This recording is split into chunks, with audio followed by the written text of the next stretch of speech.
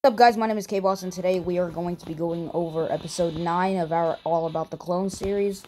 And today's episode is going to be on All About Sapper. I know Hong Tian is kind of excited about this episode today, but anyways guys, make sure you guys leave a like and subscribe, hit the bell for notifications. Let's go. Alright, so, there's not really a bunch about Sapper, well there kind of is, but um... Okay, Sapper. Let's read his description. It says here that Sapper is a he's a common clone, obviously. Sapper is carrying three dangerous landmines, and he is not afraid to drop them anywhere, not even on your backyard. So, you guys gotta watch out for Sapper dropping his mines on your backyard, because that's just a little dangerous, you know. Anyways, mine, sap, my Sapper is a level 6, as you can see, like that beautiful landmine right there and right there. Um, 240 out of 500 to upgrade him to level 7, it would cost 3,000. Um, his price is 300. I guess it's fair. His health is 255.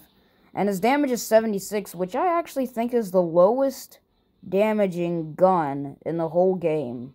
The Sapper gun. I think it's the lowest damaging one. Uh, the speed is 45. I guess that's kind of mature. And the mine damage was 178. So basically, Sapper's only defense line is his mine count, which does 178 damage on level 6. And his mine count is 3, of course. Let's check out his skins. Alright, so apparently there's some glitch where it would cost 15 coins to buy the whole Christmas pack skin for Sapper. And I think it's just only for him and Chopper, I think. I think him and Chopper are the only clones that can get the Christmas skin right now. I guess it was just some glitch that Nith added, or maybe a secret. I don't know. Um, Okay, well, as you can see, I applied the Christmas skin. Uh, the Colonel skin costs 500. It looks like three packs of dynamite. It's like some green stuff in there. He's got his revolver or pistol in there. He's got a... Excuse me. Bless me, K-Boss. Alright. It's locked, of course. Uh, he's got that mustache. He also is Russian because of that hat. Just like Bob's hat. Bob the Marksman, if you guys don't know. Of course, he's barefoot, camouflage. That kind of makes sense, because, you know, he's a colonel. But the mustache, though, is what is the best, man. The mustache. And as you can see, the basic skin kind of looks lame. Uh, just normal. Three landmines on the back. Looks like they're going to blow up on top of each other. But, you know, it is what it is. Let's try him in the showroom. Alright, Sapper. See, just look at how much damage he does to the giant. Like, barely any. And this was like 20 shots already, right?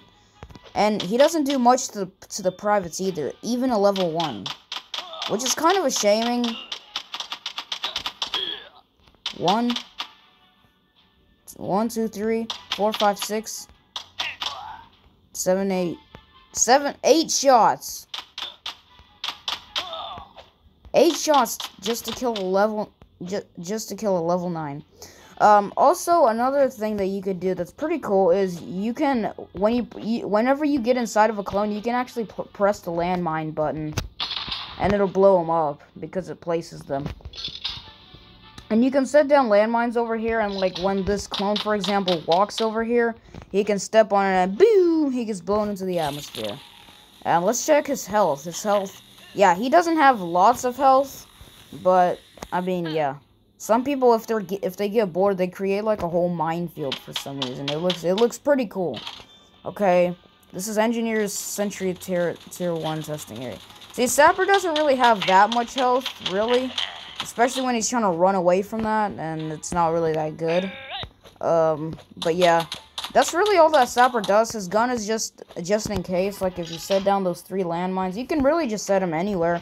You can set them on platforms. Really anywhere. I don't think you can do it on this one. Yeah, you can't. It just, it just, whoa. It just falls off.